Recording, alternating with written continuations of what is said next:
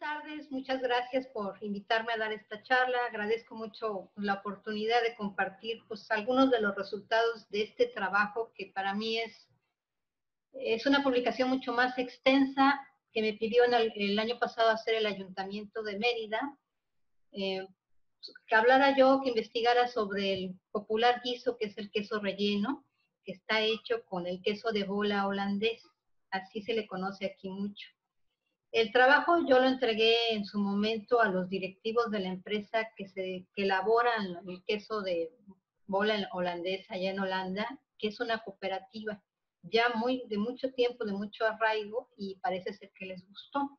Así que bueno, pues esto es un es una probadita de lo que yo realmente presenté. Voy a enfocarme más en lo que les interesa, que es la parte de los recetarios y este ya ver qué les parece. Me voy a permitir dar unas lecturas y voy a ir pasando las láminas. Cuentan que la primera visión que los españoles tuvieron cuando vieron, o cuando más bien divisaron las costas yucatecas, fue la imagen de una isla. Los primeros mapas la dibujan así, como una isla, con, esa forma. En cierta manera lo es, porque la península de Yucatán tiene muchas cualidades que se parecen a una isla su fisiografía, su clima, eh, la población, todo es muy distinto a lo que es en el México central, en el altiplano. Incluso muchas palabras que utilizamos aquí provienen del Caribe. Y como veremos, en cuestión gastronómica, pues se comparten muchas cosas, incluyendo este estudio.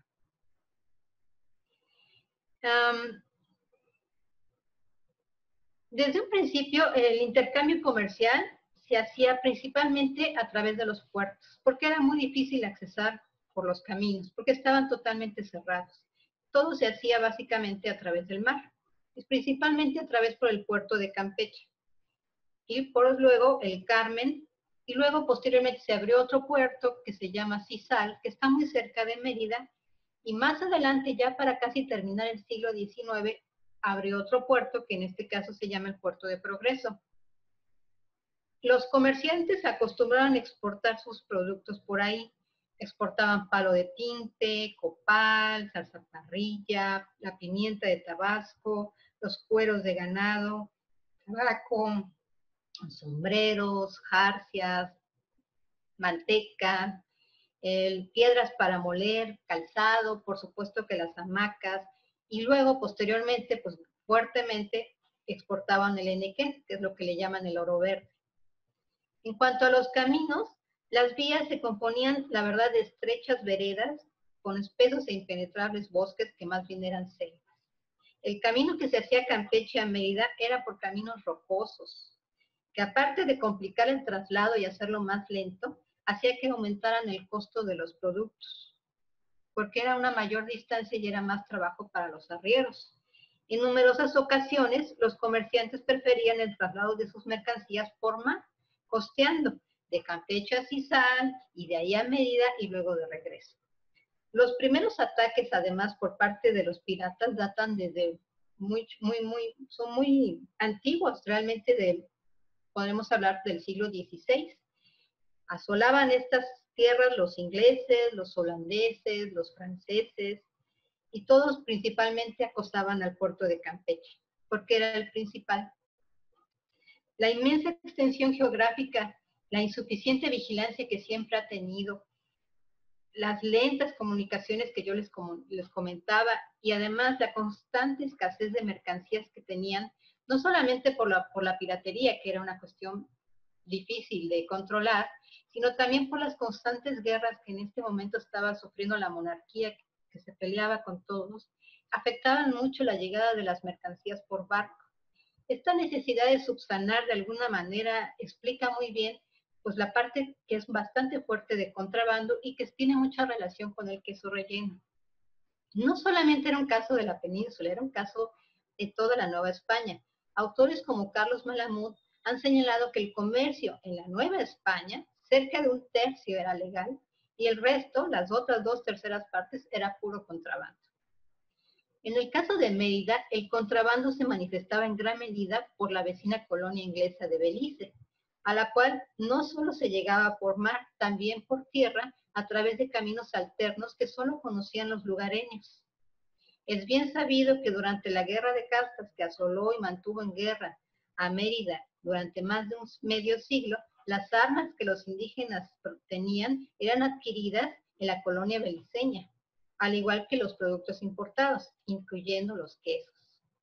Dentro de las numerosas entrevistas que hice con personas mayores, cuentan, por ejemplo, Olga Cervera dice, el queso entraba por Belice, de ahí lo traía. Otra persona le decía, yo crecí comiendo quesos daneses e ingleses.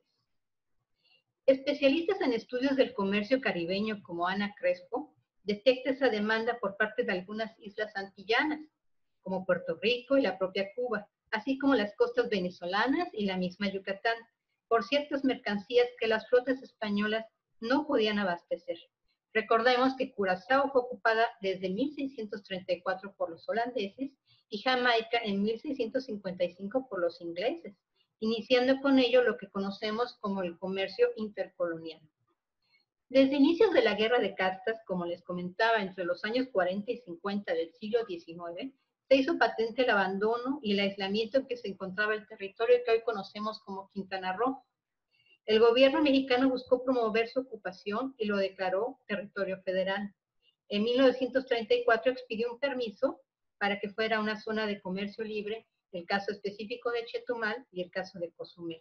En 1972 le otorgó permiso para hacer zona libre. Por esa razón, los yucatecos recuerdan muy bien la zona de, Chetumal para hacerse de los afamados quesos de bola. María Alba Pino, que es otra de las señoras que entrevisté, decía, los quesos empezaron a comprarse en Chetumal porque llegaban directamente por la zona libre. Luego se compraban en Belice a través de agencias.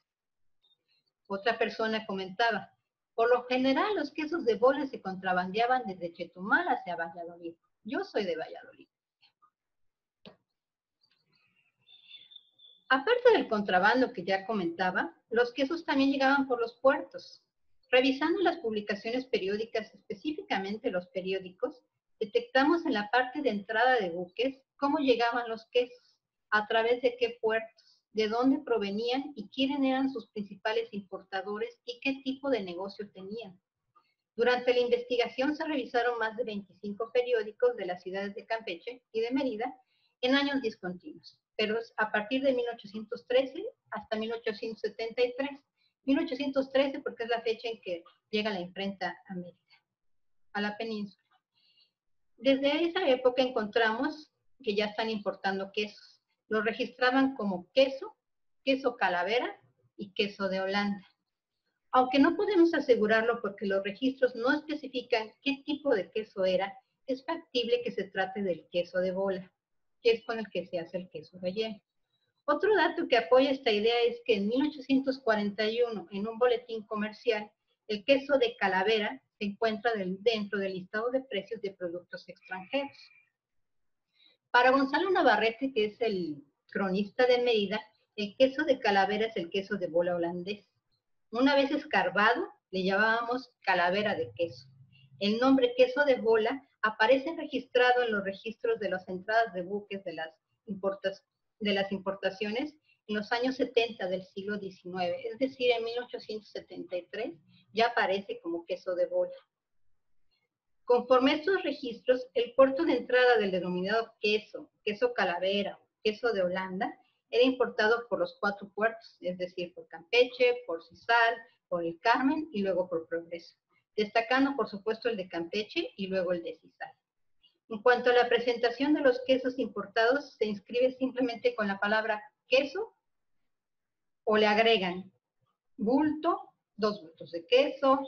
La mayoría de las ocasiones se asentaban anotándolas como caja de cuatro quesos, 17 cajas de quesos, 10 cajitas de quesos. De igual forma, recabando lo registrado que entraba por los muelles, despuntan muchos ingredientes extranjeros que utilizan para la conformación del platillo del queso relleno. Las aceitunas venían en cajitas, puñetes, barricas, barrilitos y botijas. El comino en quintales y sacos. Las cebollas en risas. El clavo en barriles. Las pasas y la pimienta en cajas. El azafrán en paquetitos, bultos, cajas y cajitas. Los ajos en cerones. las alcaparras en cuñetes, cajitas y garrafones, la harina y la almendra en barriles, la manteca en cuñetes y el orégano en sacos. Cuando se habla de queso relleno, todos los estudiosos y amantes de la gastronomía yucateca coinciden en señalar que es un producto del ingenio y de la necesidad. El queso Gouda se comía en Europa en rebanadas, pero el fuerte calor mediterráneo y caribeño lo descomponía rápidamente al permanecer abierto. Historiadores como Belén Navajas se han dedicado a investigar a detalle la vida al interior de los barcos en los tiempos en que era el único medio de comunicación y transporte para largas distancias. Como refiere, el principal problema con los alimentos a bordo era su conservación y el poco espacio de que disponían en los barcos. Em, aún así, o más bien por ello, la dieta del hombre de mar principalmente consistía en bizcochos hechos con harina de trigo que se conservaba bien, lo mismo con las legumbres y el arroz. La carne la aportaban las proteínas para ellos con el tocino y con el oliva. Y bueno, pues obviamente los estaban los, los condimentos como el sal, la ajo, el ajo, la cebolla, la pimienta y por supuesto los quesos. Y en la parte de líquidos, bueno, pues era básicamente agua y vino.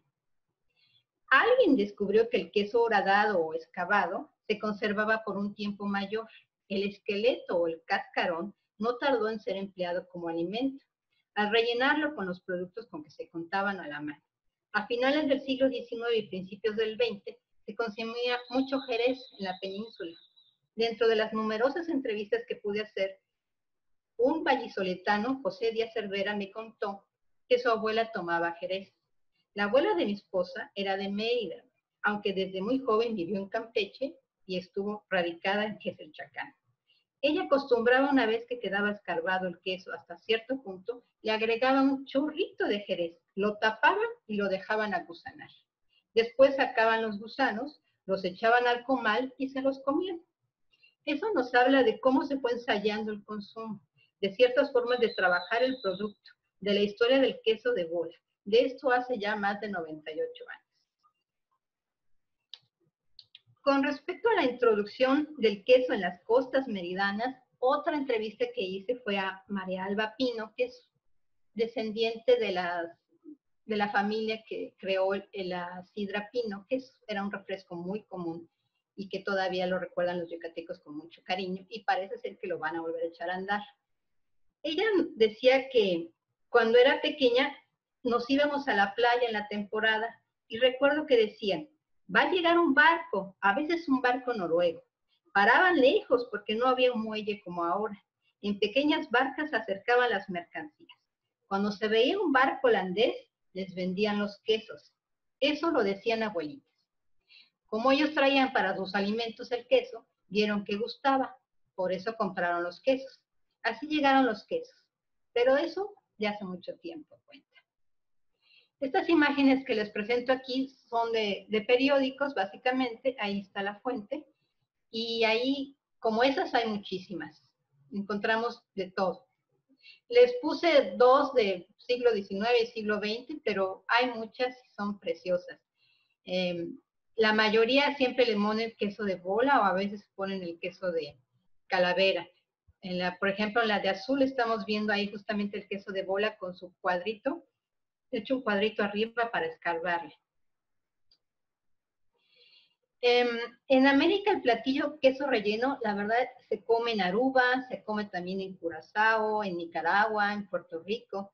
De acuerdo con José Ortiz, que es un estudioso de la comida caribeña y también de la campechana, en Curazao es un, donde existe una mayor variedad de rellenos para el queso queso relleno con camarón, con relleno de pescado, con carne de res y la otra a base de pollo.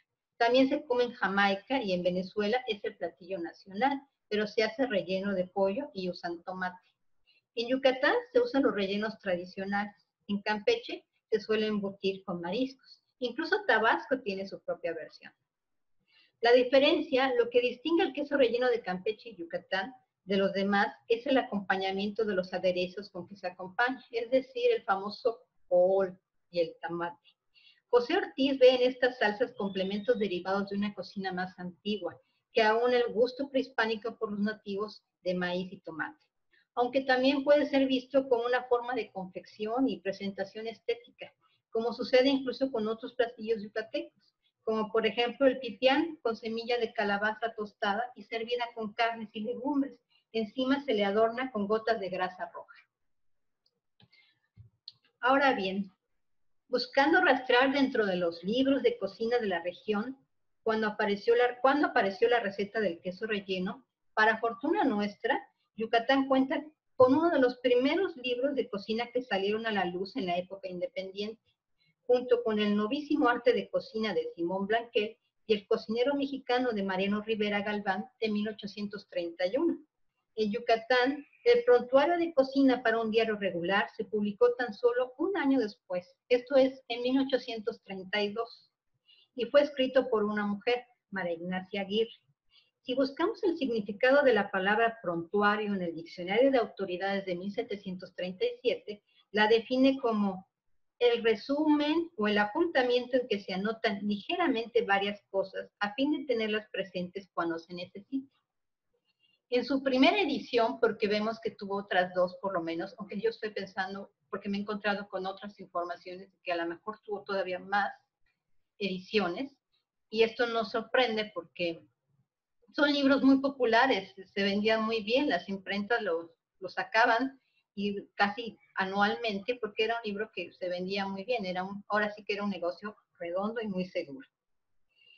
Em, en la primera edición, que es la que les comento de 1832, presenta los, procedimientos que deben de llevarse a cabo para elaborar ordenadamente sopas, pucheros, guisos y postres. Sus recetas solo se basan en la preparación del guiso sin indicar los ingredientes. Y por supuesto, las cantidades tampoco aparecen.